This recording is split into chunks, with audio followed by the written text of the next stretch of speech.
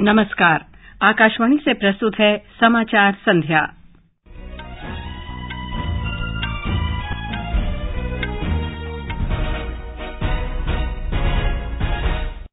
जम्मू कश्मीर के पुलवामा में सेना के साथ मुठभेड़ में तीन आतंकवादी ढेर, एक मेजर सहित चार सैन्यकर्मी शहीद।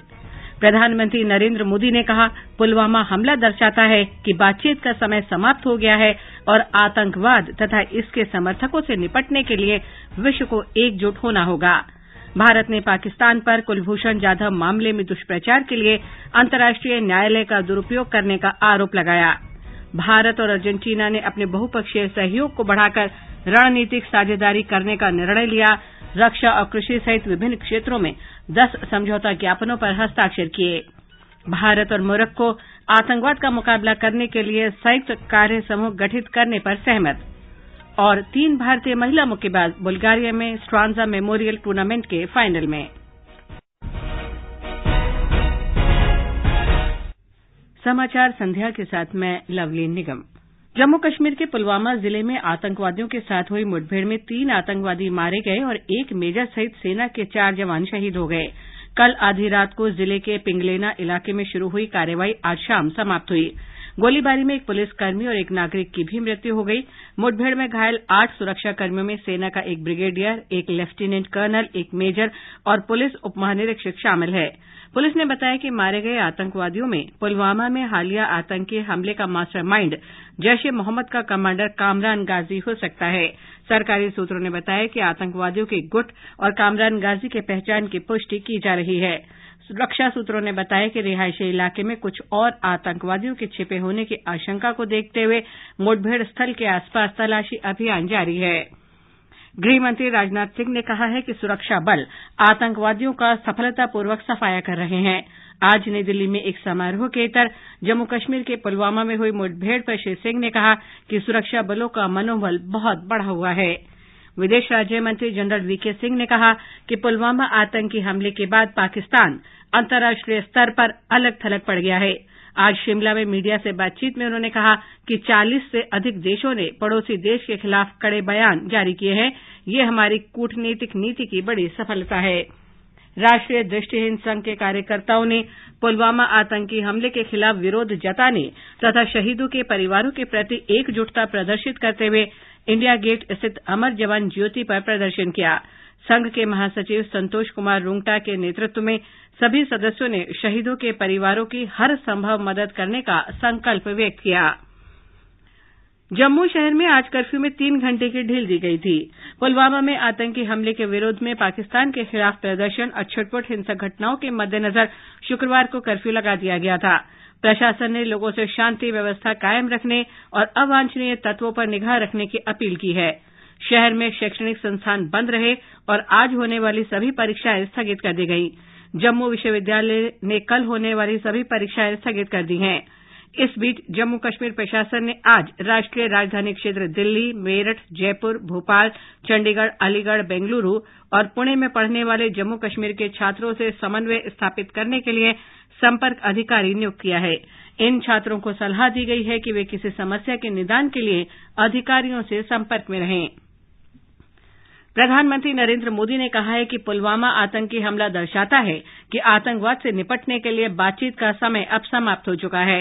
आज नई दिल्ली में अर्जेंटीना के राष्ट्रपति मोरेसियो मैक्री के साथ शिष्टमंडल स्तर की वार्ता के बाद संवाददाताओं को संबोधित करते हुए प्रधानमंत्री ने कहा कि आतंकवाद के खिलाफ कार्रवाई में देरी नहीं होनी चाहिए, क्योंकि इससे आतंकवाद को और बढ़ावा मिल रहा है।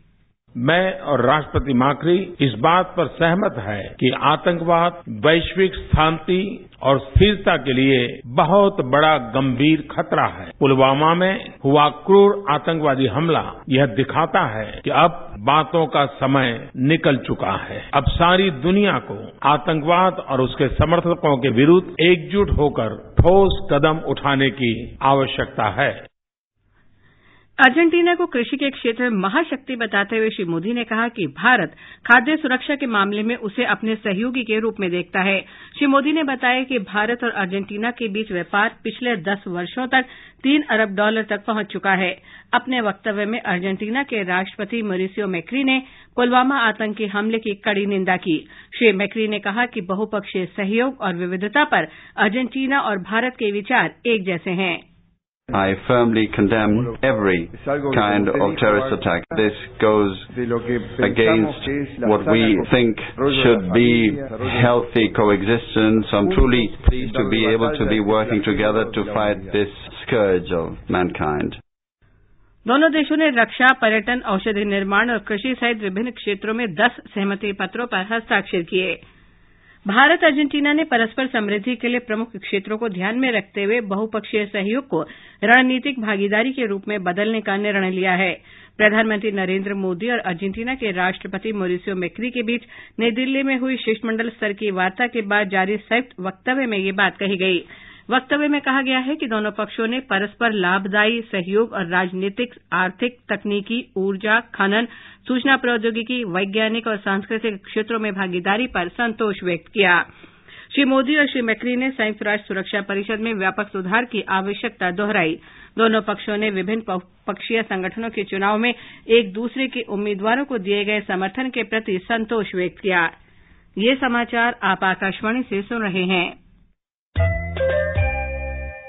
अरे अजय भाई आपका बेटा राहुल नहीं दिखाई दिया आज? भारद्वाज जी वो किचन में है खाना बना रहे हैं। किचन में? क्यों कोमल बिटिया का है? कोमल बेटी तो बाहर है कुछ घर का सामान वगैरह लेना था तो दफ्तर से लेती आएगी। मतलब बेटी बाहर और बेटा किचन में? अजय जी ये क्या कर रखा है? कुछ खास नहीं जी बेटियों और बेटों को बराबर बना रखा है। बेटों और बेटियों में फ़र्क क्या करना? बेटियों के पंखों को खुलने दीजिए उन्हें उड़ने दीजिए। बेटी बचाओ बेटी पढ़ाओ महिला एवं बाल विकास मंत्रालय द्वारा जनहित में जारी। पूर्वा तुम कार चलाते समय खाना क्यों खाती हो? अरे लेट हो जाता है घर से ऑफ़िस के लिए निकलने में। तो कार में ही खा लेती हूँ। लो तुम भी खाओ ना। नो थैंक्स अच्छा फोकस कर पाती हो ड्राइविंग पर? क्या मतलब? जानती हो इसे डिस्ट्रैक्टेड ड्राइविंग कहते हैं। और जो तुम कर रही हो ना उससे फालतू की टेंशन कुछ नहीं होगा यार। देखा? ये होता है डिस्ट्रैक्टेड ड्राइविंग करने से। आज तो बच गए, लेकिन शायद कल ना बचे। ध्यान रहे डिस्ट्रैक्टेड ड्राइविंग हो सकती है। डिस्ट्रैक्टेड ड्राइविंग तो फोकस रखें ड्राइविंग पर। सड़क परिवहन व राजमार्ग मंत्रालय, भारत सरकार द्वारा जनहित में जारी। अमा देख क्या रहे हो भैया? कभी यहाँ कभी वहाँ। आखिर तुम्हें जाना है कहाँ? टॉयलेट ढूंढ रहा हूँ सर। अरे भाई ये भी कोई ढूँढने की चीज़ है। टॉयलेट तो आपकी पॉकेट में ही है। पॉकेट में टॉयलेट? हाँ अब पब्लिक टॉयलेट को ढूंढना हुआ आसान। गूगल मैप में S B M toilet type करो और बड़ी आसानी से टॉयलेट खोजो और सीधा पहुँचो। अरे वाह मिल गया सर। याद रहे टॉयलेट का फीडबैक देना और रेटिंग करना ना भूले। अपने शहर को स्वच्छ सर्वेक्षण 2019 में अव्वल बनाए। आवासन और शहरी कार्य मंत्रालय द्वारा जनहित में जारी। ये आकाशवाणी है। भारत ने पाकिस्तान पर तुच्छ प्रचार के लिए अंतर्राष्ट्रीय न्यायालय का दुरुपयोग करने का आरोप लगाया है। आज हेग में संयुक्त राष्ट्र की शीर्ष अदालत में कुलभूषण जाधव मामले की चार दिन की सुनवाई के पहले दिन भारत ने यह आरोप लगाया। भारतीय नौसेना के सेवानिवृत्त अधिकारी कुलभूषण जाधव को पाकिस्तान की एक सैनिक अदालत ने जासूसी के आरोप में मौत की सजा सुनाई है। भारत का प्रतिनिधित्व करते हुए पूर्व सॉलिसिटर जनरल हरीश साल्वे ने कहा कि एक दुर्भाग्यपूर्ण मामला है, जहाँ एक निर्दोष भारतीय का जीवन खतरे में है। उन्होंने कहा कि पाकिस्तान की कहानी पूरी तरह से मनगढ़ंत है। Pakistan story has always been strong on rhetoric. Pakistan की कहानी हमेशा तथ्यों पर बयानबाजी और भटकाने वाली रही है। सैन्य अदालत द्वारा किया गया ट्रायल निराशाजनक रूप से नियत प्रक्रिया के न्यूनतम मानकों को भी पूरा करने में विफल रहा है। वियना कन्वेंशन के अनुच्छेद 36 के उल्लंघन के कारण जाधव को काउंसुलर एक्सेस के बिना हिरासत में रखना गैर कानूनी घोषित किया जाना चाहिए। जाधव को जिस तरह तीन साल तक हिरासत में रखकर प्रताड़ित किया गया इसके मद्देनजर मानव अधिकारों के हित में उनकी रिहाई तुरंत की जानी चाहिए। His release. विदेश मंत्री सुषमा स्वराज और मोरक्को के विदेश मंत्री नासिर बोरिचा के बीच मोरक्को की राजधानी रबात में प्रतिनिधिमंडल स्तर की वार्ता के बाद आज चार सहमति पत्रों पर हस्ताक्षर किए गए बैठक के बाद श्रीमती स्वराज ने कहा कि इन समझौतों में आतंकवाद से मुकाबले पर संयुक्त कार्य समूह का गठन, आवास और मानवीय बसावट, व्यापारिक वीज़ा जारी करने के लिए प्रक्रियाओं को सुविधाजनक बनाना शामिल है भारत कई दशकों से सीमा पार आतंकवाद का शिकार रहा है। इसलिए आज हमारे मित्र देश मोरक्को के साथ काउंटर टेररिज्म के विषय पर हुआ समझौता हमारे लिए बहुत अहमियत रखता है। इसी तरह व्यावसायिक वीज़ा को आसान करने वाला समझौता हम दोनों देशों के मध्य व्यापार बढ़ाने की दिशा में एक मील का पत्थर साबित होगा। विदेश मंत्रालय के प्रवक्ता रवीश कुमार ने कहा कि श्रीमती स्वराज और मोरक्को के विदेश मंत्री ने रक्षा और सुरक्षा, आतंकवाद और व्यापार तथा निवेश सहित कई क्षेत्रों में द्विपक्षीय सहयोग बढ़ाने के तरीकों पर चर्चा की। गृहमंत्री राजनाथ सिंह ने कहा है कि साइबर अपराध पारंपरिक पुलिसिंग के सामने एक चुनौती के रूप में उभरा है। उन्होंने पुलिसकर्मियों से साइबर दुनिया से उत्पन्न खतरों से निपटने के लिए अपनी कार्य कुशलता बढ़ाने का आह्वान किया। श्री सिंह आज नई दिल्ली में दिल्ली पुलिस के cyber prevention, awareness and detection centre CyPAD के उद्घाटन करने के बाद लोगों को संबोधित कर रहे थे। आज के साइबर युग में पुलिस का कार्य क्षेत्र का असीमित विस्तार हो चुका है। और ये हमारी ट्रेडिशनल पुलिस के लिए एक बहुत बड़ा चैलेंज है। और इस क्षेत्र में दूसरी गंभीर चुनौती है स्किल्स की। और साइबर अपराधों की इन्वेस्टिगेशन में इन्फॉर्मेशन टेक्नोलॉजी फॉरेंसिक्स इत्यादि का बेसिक नॉलेज होना आज बहुत ही आवश्यक हो गया है। ये समाचार आकाशवाणी से प्रसारित किए जा रहे हैं। पापा कल मैं पंद्रह की हो जाऊँगी कहीं ले चलो। हाँ हाँ चलेंगे ना पोस्ट ऑफ़िस मेरा मतलब घुमाने ले जाने से था।